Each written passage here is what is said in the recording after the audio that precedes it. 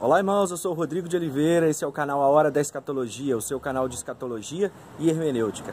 Hoje, aqui na cidade de Cataguás, eu gostaria de falar com vocês sobre Coríntios e a contracultura. E gostaria de fazer isso refletindo em 1 Coríntios, capítulo 7, versículos 29 ao 31, que diz que aqueles que o tempo é curto e aqueles que são casados que vivam como se não fossem, aqueles que estão chorando que vivam como se não estivessem, aqueles que estão rindo que vivam como se não estivessem rindo, aqueles que estão felizes que vivam como se não estivessem, e aqueles que usam deste mundo que o façam como se dele não precisassem, porque a aparência do mundo passa. A carta aos Coríntios foi escrita num contexto onde Paulo estava na terceira viagem missionária em Éfeso e ele ouviu boatos e depois carta escrita dizendo que havia uma série de problemas na igreja, desde problemas de ordem doutrinária, moral, espiritual. O que era um contraste, já que aquela igreja é uma igreja onde ele nomeadamente vai dizer que nenhum, vom, nenhum dom vos falta. Então essa igreja é uma igreja espiritual. É uma igreja que está dentro do contexto que é um exemplo, mas ao mesmo tempo ela havia estava vivendo dentro de um paradoxo, já que ela era espiritual, ela era bênção, mas estava trazendo uma série de problemas que estava levando Paulo a escrever essa carta e as repreensões para corrigir os erros teológicos, doutrinários, morais e espirituais que estavam vivendo naquela igreja. Não muito diferente de nós, não é?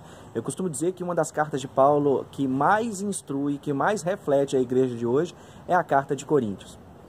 Muito bem, o grande desafio ali, é, Paulo vai falar sobre casamento, sobre alguém que estava vivendo com a, a, esposa do pai. Há uma série de situações e de problemas dentro daquela igreja que fazia com que eles pensassem a respeito da cultura e do movimento contra a cultura, já que é uma carta de cristãos vivendo dentro de um, um contexto da cultura helênica, né?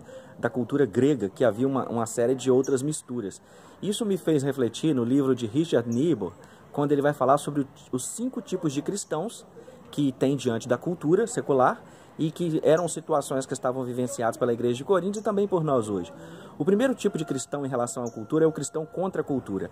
É aquele tipo de cristão que acha que deve se afastar, se separar de tudo, que o modelo dele no que se refere a ser diferença e padrão é estar afastado de todo tipo de cultura do mundo. O segundo tipo é o cristão da cultura. É aquele tipo de cristão que incorpora tudo que o mundo faz dentro da igreja a fim de que a igreja, através da cultura popular, possa alcançar as pessoas.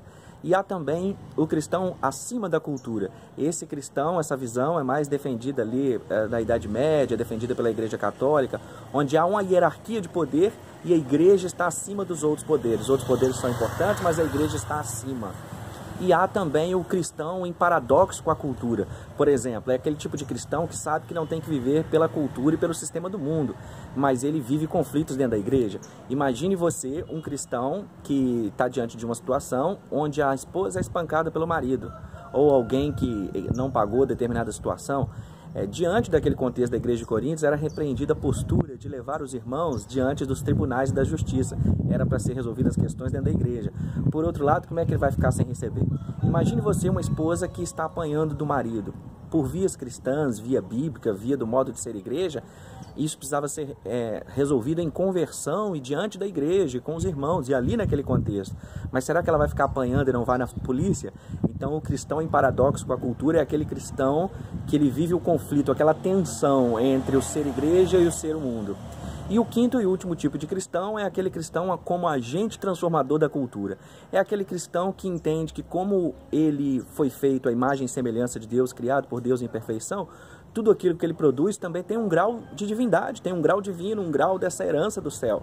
Mas por outro lado, como o pecado entrou, há também um grau de corrupção e é preciso que ele, como agente de transformação, influencie a cultura, a fim de que as artes, a poesia, a cultura, tudo aquilo que é realizado seja feito para a glória de Deus e com excelência, porque todos nós temos dons naturais e talentos naturais dados por Deus. Esse é o sentido de graça comum. Então, o quinto e último modelo seria o agente, o cristão como agente transformador da cultura. Então, o vídeo de hoje é Coríntios e a cultura nos tempos de hoje. Espero que tenha contribuído, que tenha sido interessante, que esteja contribuindo para o crescimento e fortalecimento dos irmãos. Forte abraço, até a próxima.